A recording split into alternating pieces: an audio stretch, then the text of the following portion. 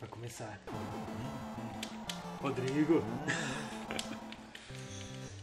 Bom, pessoal, tá aí mais um programa Design Games Brasil. E hoje vamos falar com Não sei.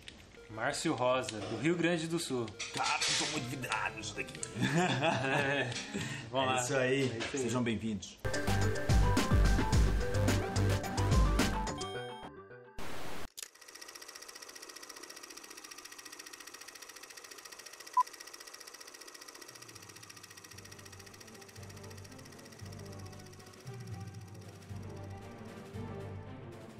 Terra, o terceiro planeta do sistema solar. Com a recente descoberta do nosso mundo por seres extraterrestres, a sociedade terrena passa por diversas mudanças. Chegamos a uma nova era de progresso e modernidade. Daqui em diante, os eventos futuros poderão moldar nossa sociedade para sempre.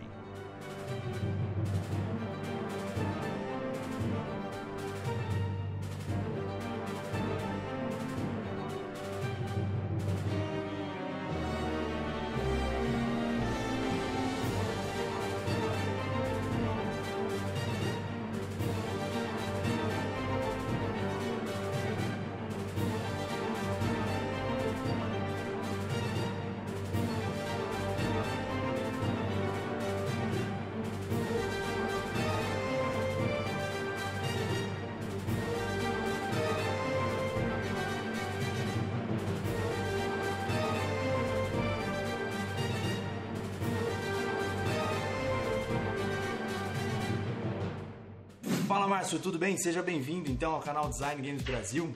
E a gente abre o espaço para você. Ser presente pro pessoal, fica à vontade, vai lá.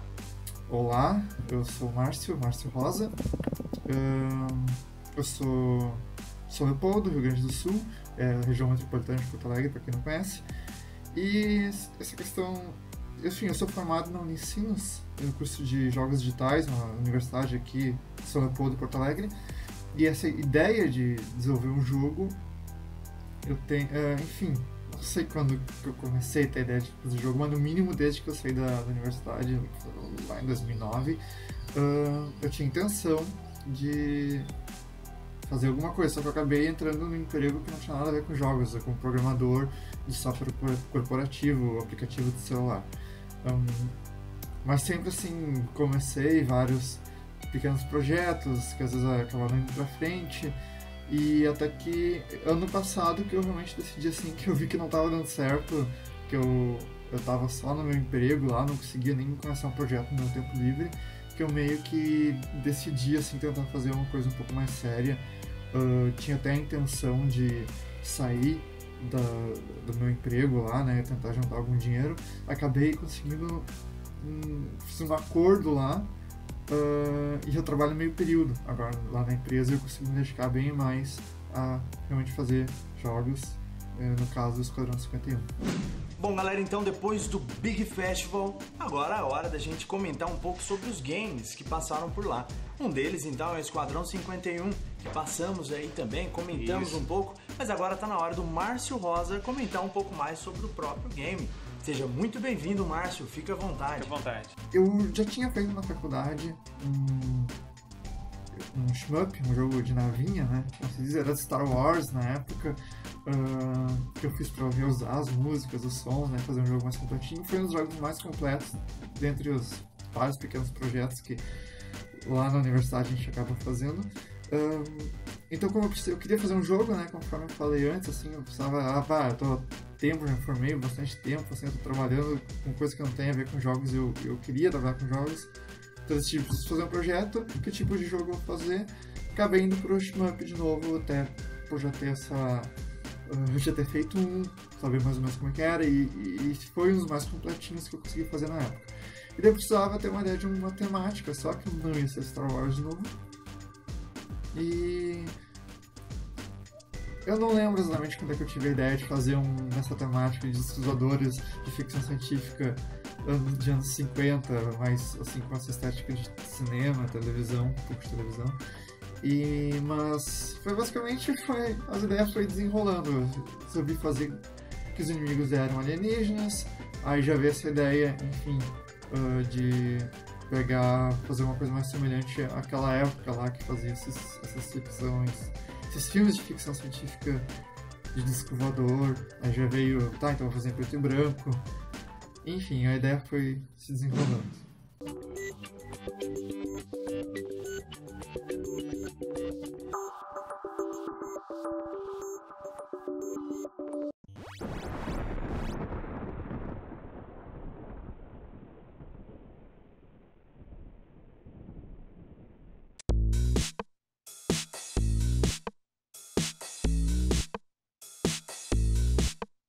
Canal Design Games Brasil. Cada programa, uma novidade diferente. Faça parte, se inscreva, curta e compartilhe com o planeta inteiro. A gente sabe que o nível de conhecimento conta muito no tempo de desenvolvimento do projeto. Mas conta pra gente então se o Esquadrão 51 foi a sua primeira experiência com games. Uh, eu já tenho um jogo lançado, ele foi lançado na loja da Nokia, que nem existe mais. Nokia Store era para os aparelhos da Nokia, não era Android, não era iOS. Eu fiz mais um concurso que saiu na época que acho que foi ali em 2011 ou 2010 talvez. Kate for Millions era o concurso. Uh, de jogos, aplicativos, eu resolvi fazer um que eu acho que era bem simples de fazer, né? Era uma, plataforma bem, bem simples. Aí eu fiz esse jogo que chamava Ultimate Liners, era um stealth, 2D, bem simples. Uh, e foi lançado na loja da Nokia. Fora, e isso foi o único que eu lancei, né? Uh, teve bastante download até, mas é gratuito. Uh, e fora isso, pequenos projetos, né? Na época da universidade, principalmente. Bom, Márcio, a gente quer saber mais sobre o jogo. Eu preciso que você conte. A galera quer saber a história, a temática, da jogabilidade. Né? Como que, que, que surgiu a ideia desse tema? Fica à vontade, fala lá. A trama do jogo é, é bastante a gente tira várias assim, referências de ficção científica, enfim, dos anos 50, como eu comentei antes. Uh, tem lá suas alegorias, como já tinham uh, as, as, histórias naquela época. A gente vai focar bastante na narrativa através tanto de cutscenes, que é né, o jeito mais básico de contar uma, uma historinha num jogo, como através dos diálogos que, que tem durante o gameplay. Né? Fazer comunicação dos do, via rádio entre os pilotos. Então vai ter os personagens, vai ter lá um, um, umas certas alegorias. E fora isso é um, é um shmup bem clássico, bem simples, que tem. O jogador vai controlar mais de uh, um, um, avião, vai ter alguns tipos diferentes de armamentos, alguns especiais, power-ups. Uh, não vai ter muita liberdade de escolha, de fazer parte da ideia inicial de o jogador escolher o avião, com os armamentos, utilizar tipo um type no, no início da fase, mas acabei né, sendo um pouco mais realista, fazer um jogo um pouco menor. Um, então tem essa variação, mas é predefinido por fase. Né? A, terceira, a partir da terceira fase vai ser um avião diferente, com outro tipo de armamento. Um, vai ter mais um, uma pequena diferença na quinta e na sexta, depois, desculpa, na quarta e na quinta e depois na sexta fase. São seis fases. A gente sabe que muitos escolhem uma engine específica para o desenvolvimento do jogo, mas Sim. outros acabam optando por programar o game do zero. Qual foi o seu caso? Fala aí pra galera. O jogo está sendo desenvolvido na Unreal Engine 4. Eu. Enfim, eu, eu, eu cheguei a dar uma olhada antes mesmo de começar o Esquadrão 51. Uh, antes de começar um projeto mais sério, eu pensei. Primeira ideia, quando eu ainda estava full time trabalhando na empresa que eu trabalho ainda. Uh, eu queria desenvolver um jogo, ainda, ainda, minha primeira ideia era um stealth, eu cheguei a começar num stealth 3D, semelhante ao jogo que eu comentei antes que eu fiz para Nokia Store. E então eu cheguei, uh, já conhecia a Unity, tinha mexido bem pouquinho nela. Eu baixei Unity de novo, comecei a mexer, Uh, tinha umas coisinhas que não me agradavam muito na Unity, seja o visual dela que não era tão. Principalmente era Unity 4 na época, não era 5. Não tinha módulo, alguma coisa mais voltada a cutscene, fazer uma animação, tipo cutscene, que era uma coisa que eu já queria naquela época fazer nesse jogo stealth. E no Esquadrão 51 também a gente faz uso de cutscene e eu sinto falta disso. Aí eu ainda testei mais a, a UDK, né, que era parte da Unreal Engine 3, que podia ser baixada do site da Epic e um pouco da CryEngine. E a CryEngine era espetacularmente, visualmente espetacular, na verdade. E eu tentei mexer nela, a documentação era meio fraca e para importar o modelo 3D precisava ser do Maya do 3ds Max e não tinha condição, precisava ser Blender, né? Por sérias restrições orçamentárias. E aí eu resolvi testar o DK, mas foi bem na época que estava sendo o N4, a primeira versão que ainda tinha uma mensalidade, mas era uma mensalidade pagável. Um, e aí eu acabei seguindo para o Unreal Engine 4 naquela época já, e quando eu comecei a Esquadrão 51 também já era a engine que eu estava mexendo mais, né, mais conhecimento. Então, Márcio, conta pra gente quanto tempo levou para o projeto chegar ao nível que ele já está, né? Que você usou para apresentar no Big Festival, né? Desde o seu planejamento Sim. até a concepção pro Big Festival. Diga aí. Ele tá há um- mais ou menos um ano e dois meses, um ano e três meses, talvez. Acho que foi em abril que comecei. Quando eu comecei a falar com as primeiras pessoas ali, que para tentar. ah, falei com o Felipe, que é amigo meu, que ele tava ajudando um pouco na produção. Foi, acho que foi em abril do ano passado. Então a gente tá ainda, mas ainda, né, ainda tem bastante coisa pela frente. A gente tá com uma versão que é essa que foi demonstrada no, no Big Festival. Provavelmente o jogo vai ser lançado só em 2018. Espero. Bom, a gente sabe que todo projeto é um desafio. O Esquadrão 51, qual foi o desafio? com qualquer indie, óbvio que a gente não tem muito recurso, né? Principalmente pessoal. Hoje eu faço quase tudo sozinho no jogo, tanto design quanto programação. Eu demoro muito tempo para, principalmente questão de modelagem 3D. Uh, se a gente vier a ter um orçamento maior, né, conseguir envolver mais gente, provavelmente vai ser a primeira coisa que eu vou tentar ir atrás é alguém para me ajudar na parte 3D, visual, né, geral. Apoio, cara, é sempre importante. E agora, com certeza, depois de você ter participado desse big evento, tenho certeza que você deve estar recebendo uma série de contatos aí. E financiamento coletivo?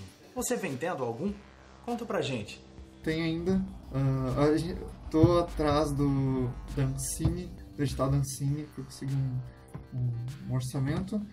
Não tem nada de financiamento coletivo ainda, embora talvez venha a ter, né? Parte dos planos. Aqui não é uma coisa, nem o financiamento coletivo não é uma coisa tão simples que vai lá e chega e coloca, precisa ter uma certa publicidade para atrair gente para o teu projeto, né? Eu simplesmente não tive nem tempo de pensar algo assim. Não tem nenhuma empresa por trás do projeto, até se tu- lá no, no Big Festival o jogo tava no meu nome, Márcio Rosa. Muita gente vinha me perguntar se eu tava fazendo sozinho. Programação, design eu faço sozinho, mas existem outras pessoas. Existe uma empresa fazendo som, que é o Kiko Ferraz Studios. Tem mais o cara da música, esse amigo meu que eu comentei antes está ajudando na produção, o pessoal que fez a, a dublagem. ah, mais o pessoal que ajudou no, no- na pequena porção de live action que a gente tem agora. É para ter mais depois. Ahn, mas mesmo tendo essa empresa de som, assim, uh, na produção do jogo não tem ainda. A gente está conversando com uma produtora para entrar no edital da Ancine. Márcio, fica à vontade agora para falar né, sobre dicas, considerações finais, agradecimentos. O espaço é seu. Ah, então, ah, pessoal que quiser saber mais, visita o site esquadrão51.com ou squadron51.com. Ah, não- ah, lá é uma landing page, só vai para a página do Facebook que ainda não tem muita coisa, mas ah, é onde a gente vai começar a colocar mais in- informação. Ah, fora isso, de dicas, eu, eu ainda sou.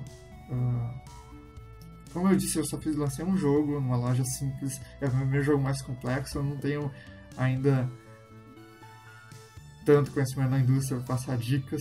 O máximo que eu posso dizer é, ah, pra- principalmente para quem está estudando, começando, ah, façam jogos, isso é óbvio, mas eu quero dizer, tentem fazer um jogo do início ao fim, mesmo que seja um jogo mais simples possível, porque é sempre, é sempre bom também aprender a teoria, né?